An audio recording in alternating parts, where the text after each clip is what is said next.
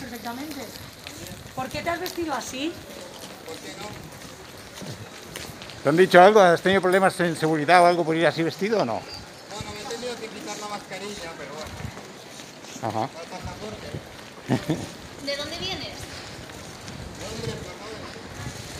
Y ahora te- tienes que hacer la cuarentena en algún sitio, te han dicho...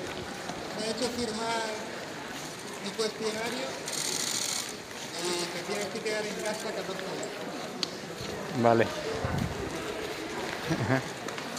¿Dónde lo vas a pasar? ¿En Barcelona o...? Luego.